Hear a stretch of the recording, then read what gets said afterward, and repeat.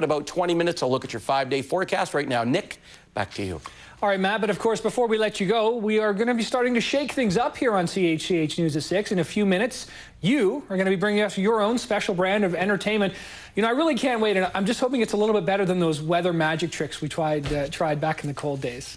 Which, by the way, are on YouTube now. They are indeed. I've watched them a couple times when I needed to laugh. yeah, yeah, I, I, watched them too. Uh, living through them was bad enough. But uh, yeah, you know what? I don't want to give everything away right now, Nick, because uh, we want to leave uh, something as a surprise. But I will give you a little bit of a hint.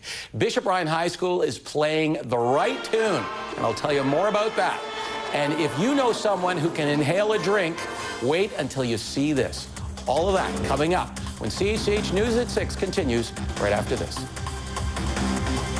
Joining me now on the desk is our very own Matt Hayes. We know he does weather. He always entertains us with his weather segments as well. You've always sort of been able to combine that. So we thought tonight Matt's going to give us his look at entertainment news, and I'm sure it'll be just as amusing, if not more so. Well, it's a little bit of everything. It's a hodgepodge, Nick. Mm -hmm. It's mm-hmm. entertainment. It's some local stuff. It's some weird stuff yeah. that we've uh, found on our uh, different feeds I'm and wires and stuff. Yeah. Now, you know, we had a meeting uh, earlier today, and we were trying to discuss uh, what we would do with the show and, and, and what it would be called yes. and everything. And people came out with some ideas, and I didn't think... Very creative and original, they I'm sure. very good. No? So I thought about it. I gave it a lot of thought. And, and after a lot of thought, I came up with the perfect title and Let's the perfect see. opening. Okay. Here it is. Thank you. Thank you very much. Wow, the Matt Hayes Show. Yeah. You need a voiceover or something. I, I do. Oh, yeah? Hey, you could be my Ed McMahon. Yeah. Matty. Okay, now just throwing a lot of that is correct, sir, okay, from here on? Yes. All right, thank you very much. All right, let's start by going back to school. Students from Bishop Ryan High School in Hamilton are performing a series of concerts today.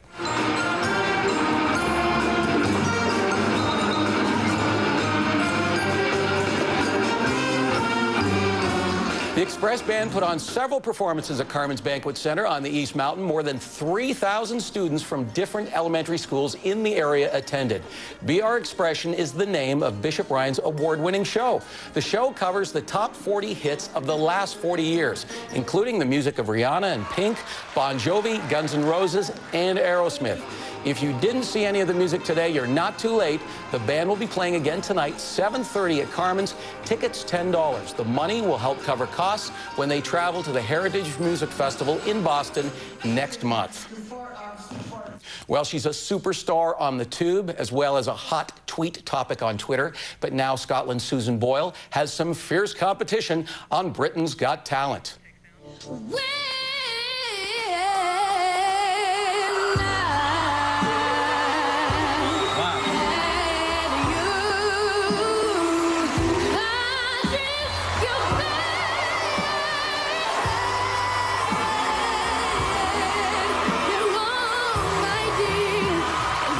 Meet Shaheen Jafargholi. He has more than half a million hits on YouTube. When he took to the stage, he began singing an Amy Winehouse song, but was quickly stopped by Simon Cowell, who told him to sing something else. That something else was the Jackson 5's Who's Loving You, and that earned him a standing O from the British judge and the crowd. Meanwhile, there are more than 30 million hits of Boyle's performance, and she's got a celebrity fan too. British singer Elaine Paige says Boyle is a role model for everyone who has a dream and is now touting the idea of them singing together. On her BBC radio show, Paige told her audience it seems her performance has captured the hearts of everyone who saw it, me included.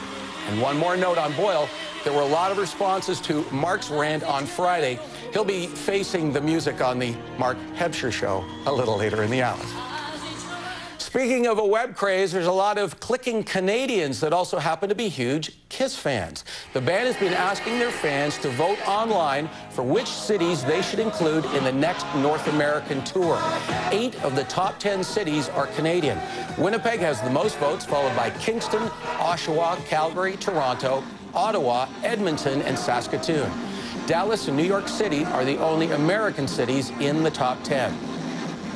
More news on Madonna. She's definitely a woman who knows how to get on a horse and fall off one. She took a tumble while riding Saturday afternoon in the Hamptons. Apparently her horse was spooked by a photographer who jumped out of some bushes. But the photographer says he was there after the fact.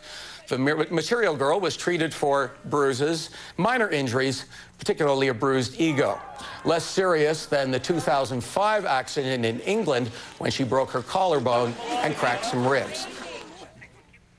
This next story has little to do with entertainment, but it is visual. It's a Lamborghini tucked under an SUV. It seems the driver of the high-end car didn't stop quickly enough when the other vehicle slammed on the brakes. Washington State Highway Patrol confirms the mishap. Lamborghini owners know the car comes with a six-figure price tag. Although we're not sure how much this one costs, one thing is certain, the insurance company isn't going to like dealing with this claim. Pretty soon they may be saying don't inhale and drive. Well, maybe they are saying that already. The reason I say this is because there's a new bar opened in London's Soho district, and it's giving customers the chance to literally inhale their drinks. For about $7, patrons can experience a vaporized gin and tonic. Now, in order to do this, the customer has to wear a protective suit over his or her clothing. Then a special machine is used to create the cloud of gin and tonic, and the customer just has to breathe to get a buzz.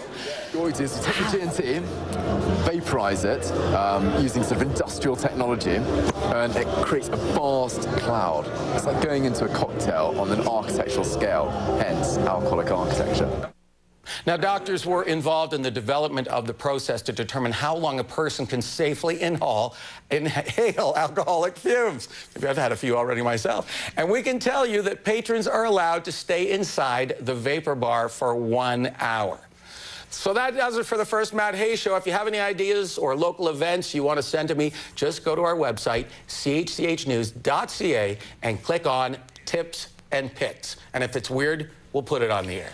That almost looked like an April Fool's thing, the I know. Uh, vaporized gin and tonics. I mean, come on. I'm going to open a beer and sniff it when I go home, see yeah, if it works. no kidding. Just sort of sniff. Uh, yeah. Well, we've heard about that in other uh, illicit substances, but uh, anyway, there you go, Matt. Very informative. Mark Hebscher, speaking of inhaling, he's going to be talking about inhaling as well when he tackles marijuana legalization issues on his 420 rant.